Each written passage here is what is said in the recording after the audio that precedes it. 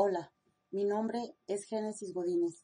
Por medio de este video quiero explicar, aclarar o dar los motivos que me han impulsado a cuestionar la ética profesional de Talia Vázquez Alatorre y Priscila de Grillonautas. Quiero aclarar que yo no sé hablar bonito y que mi léxico no es extenso, que no tengo un título profesional, que solo estudié la primaria, que no soy periodista ni activista. No busco fama, tampoco busco un hueso político.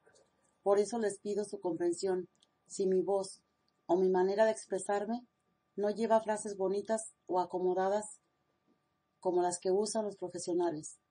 Pero lo que sí llevan mis palabras son sinceridad, lealtad a mi pueblo y mi país, a mi raza, a mis raíces y cultura, y llevan también el respeto que me merecen todos aquellos que han luchado por la libertad, la paz, la justicia y la dignidad del pueblo mexicano. Y por supuesto, también llevan el respeto para todos aquellos que han seguido mis páginas de Facebook, Twitter y YouTube. Y como dice Priscila, quien acusa tiene que demostrar con pruebas. De lo que voy a narrar en este video, pueden bien informarse y corroborar el contenido en los enlaces que les dejaré. Talía no renunció a la defensa del doctor Mireles por ese pacto vergonzoso, como ella lo ha querido hacer creer. Cuando Ana Valencia de Mireles decidió ponerse al frente de la defensa del doctor, ella le exigió a Mireles que eligiera entre ella y su familia. Y en esta carta, enviada por el doctor a su hija Briana, lo dice claramente.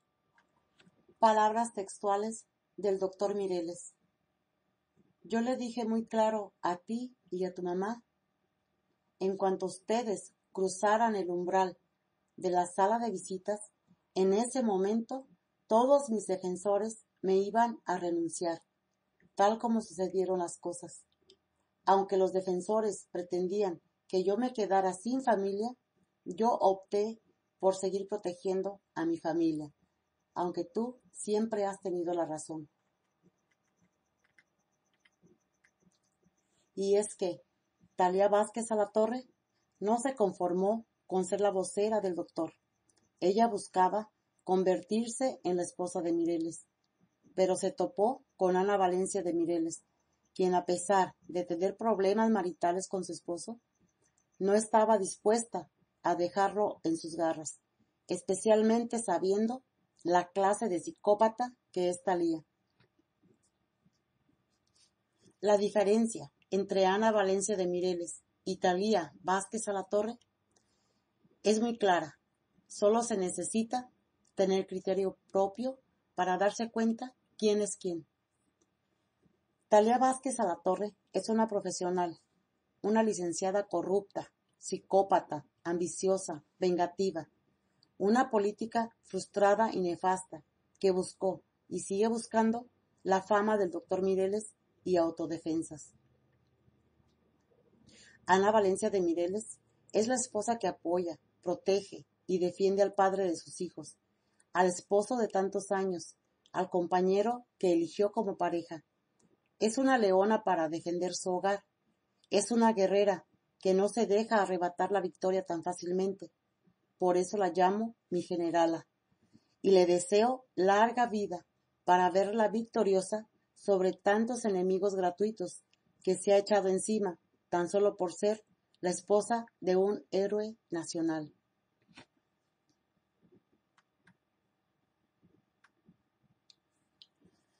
Cuando Talía abandonó el caso legal del doctor, ni siquiera dejaron dirección para recibir resultados o resoluciones de amparos que se habían metido para el doctor y autodefensas. Porque Talía es una persona vengativa, posesiva, psicópata y nefasta. Ya lo había demostrado con su ex esposo, Juan Iván Peña Neder, a quien por tal de que no visitara a su ex esposa, le ayudó a secuestrar a su hijo, cuando no pudo conseguir la custodia legalmente para Peña Neder. Peña Neder, quien ya tenía años de haberse separado de su esposa Almagracia Villazón Bustillos, siguió visitando al hijo de ambos sin ningún problema, hasta que conoció a Talía, y así empezó la pesadilla para la señora Villazón Bustillos, ex esposa de Peña Neder. Puesto que siendo Talía una celosa, posesiva y psicópata, recurrió de inmediato, con el dinero de Peña Neder, por supuesto, a sus corruptos contactos para darle la guerra a la señora Alma por la custodia de su hijo.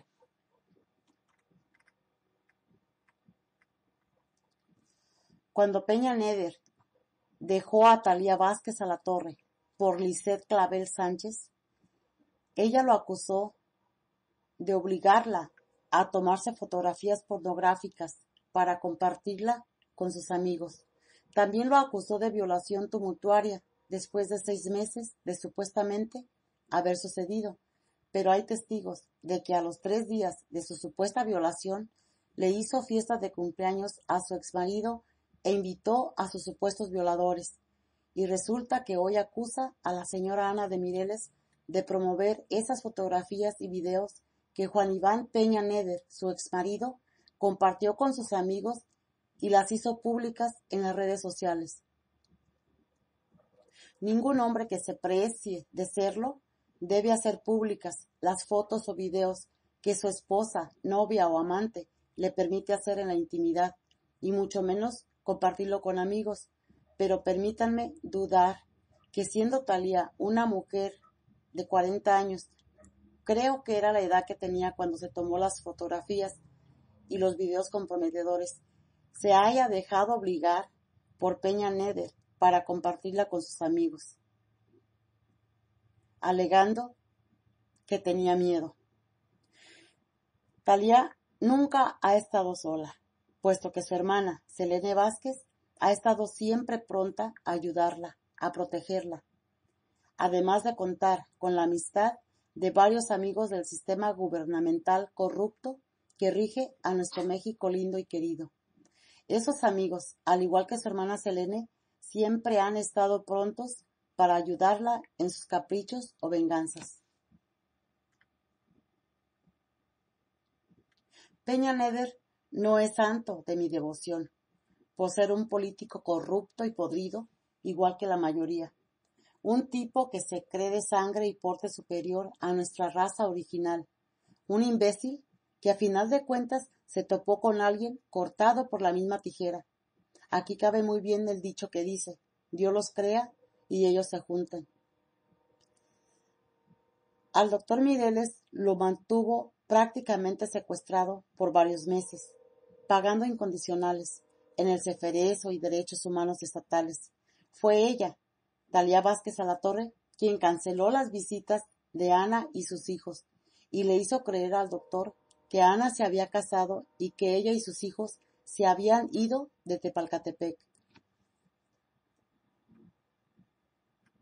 El doctor solo recibía las cartas que ella autorizaba, y las cartas que él enviaba a sus hijos y esposa nunca llegaron a su destino. Fue así como Talía logró hacerle creer al doctor que su familia lo había abandonado.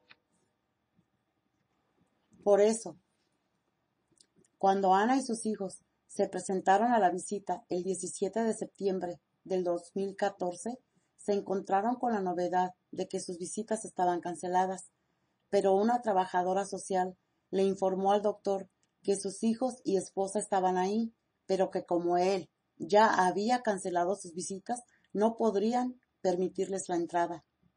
Pero el doctor les dijo que él jamás había cancelado a nadie de su familia fue así como los hijos del doctor pudieron entrar a visitarlo ese día, pero Ana no pudo, por un escrito que Talía había metido alegando daños psicológicos al doctor. Ana recibió una llamada del doctor Mireles la noche del 6 de octubre del 2014 a las 12.07 y le pidió que por favor fuera a verlo, porque Talía le había llevado tres demandas en contra de ella para que las ratificara. Una era para el divorcio, la otra por daños psicológicos y la otra para quitarle la casa, la camioneta blindada y el carro. Fue así como Ana Valencia de Mireles llegó a Hermosillo en el mes de octubre y después de 15 días pudo finalmente entrar a ver al doctor el 25 de octubre. Ana y sus hijos jamás han abandonado al doctor Mireles. Prueba de ello es que desde que Ana y los autodefensas de la costa sierra michoacana se hicieron cargo del caso legal de Mireles, Briana, su hija, se quedó a vivir en Hermosillo para estar al pendiente de su padre. El cambio se notó al mes de que ellos intervinieron. Lo pusieron en celda compartida con otros ocho presos, después de haberlo tenido segregado como al peor de los criminales. Al saber que sus hijos y esposa no lo habían abandonado, el estado de ánimo del doctor cambió, recuperó peso y estabilidad emocional. Talía jura y perjura que están llevando la defensa de los escoltas del doctor, pero no hay pruebas de que sea cierto, además de que ni siquiera los han visitado. Talía nunca presentó pruebas a favor de Mireles. Lo que presentó fueron las irregularidades de su detención. El amparo, que salió a favor del doctor, y los escoltas, debió haberlo metido inmediatamente después del acto de formal prisión. Sin embargo, decidió apelar, sabiendo que así alargaría más el caso, asegurándose de mantener en prisión al doctor el tiempo suficiente para que su hermana Selene ganara la gubernatura de Michoacán, y ella seguir ganando fama y dinero con los famosos mensajes a la nación.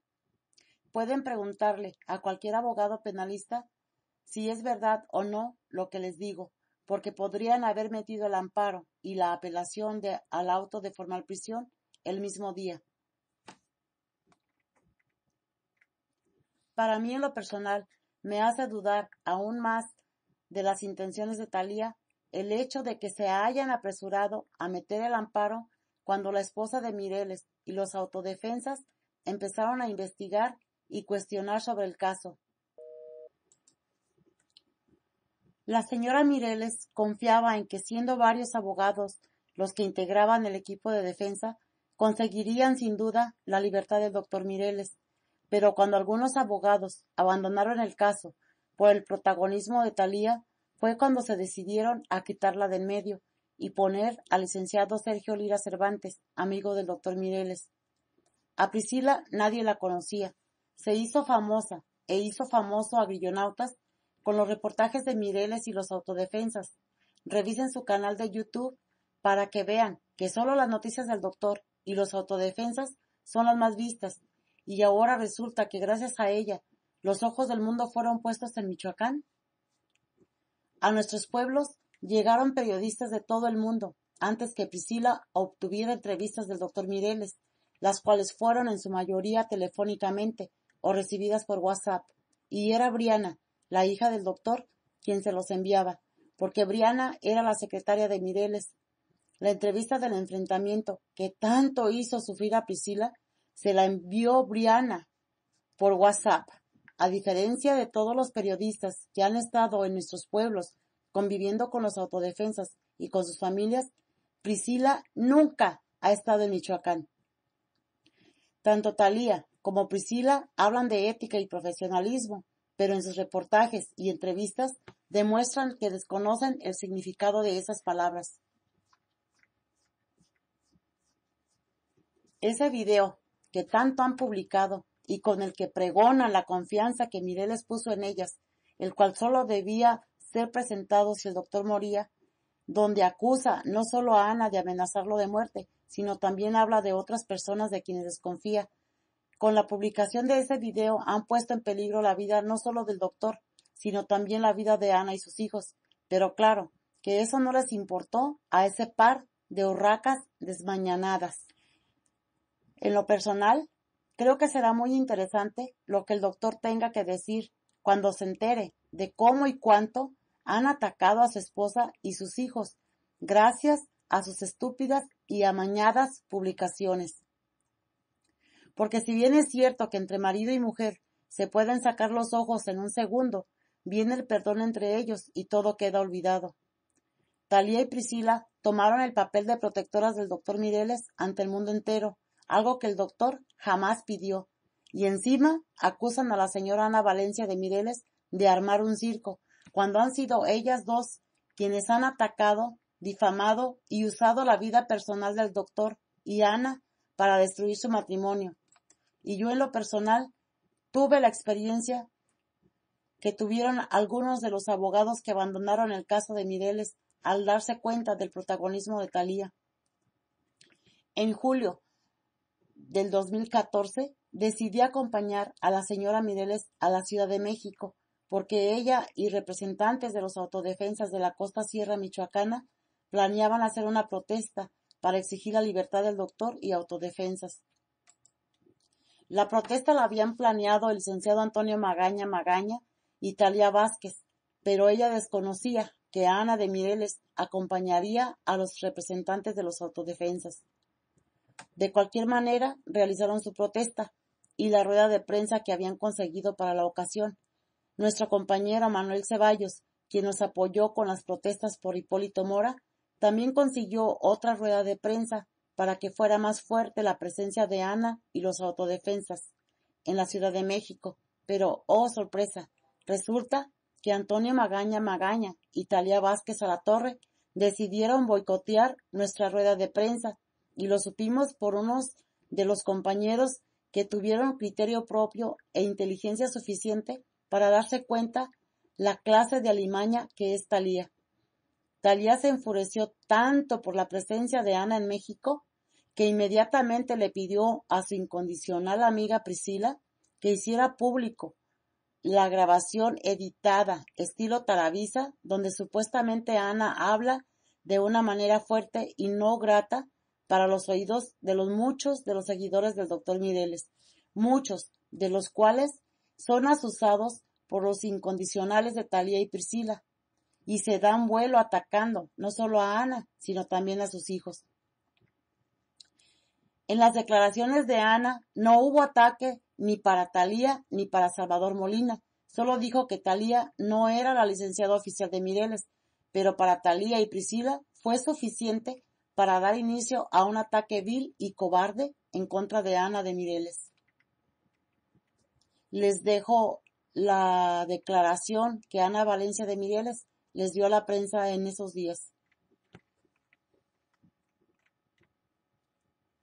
Talía se queja de haber puesto su vida en peligro por apoyar al doctor Mireles, pero esa es una gran mentira. ¿O será que se le olvidó que después de divorciarse de Peña Neder, denunció que su vida era un infierno y que su vida y la de sus familiares estaban en constante peligro? La verdad es que, además de farsante, controladora y manipuladora, es una loca en busca de fama, a costa de lo que sea. También habla del dinero que le donaron ella y su hermana Selene para la compra de la camioneta blindada al doctor. Pero da la casualidad de que el doctor no se los pidió, ellas se lo dieron, y bien que se lo ha cobrado Talía, con los famosos mensajes a la nación y con la fama que consiguió gracias a Mireles. Y no conforme con eso, demandó a la esposa de Mireles para quitarle las casas y la camioneta blindada. A Priscila de Guillonautas le hablé en cuatro ocasiones tratando de persuadirla para que dejara en paz a la familia del doctor, pero me ignoró y le siguió el juego a Talía, demostrando que le importa más hacerse fama que la suerte de nuestra lucha.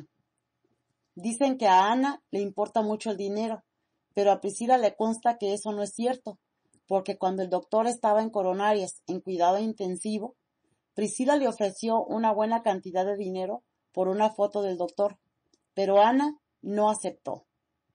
También le mandó a un reportero para que le respondiera al doctor Mireles cuando hizo pública su relación con la joven de 17 años. Sin embargo, Ana jamás quiso hacer escándalos. Los grillonatas no eran conocidos y pueden comprobarlo revisando las visitas de los videos que tenían antes de empezar a hacer reportajes de los autodefensas. Priscila dice que ella nunca ha atacado a Ana, pero sus videos dicen todo lo contrario.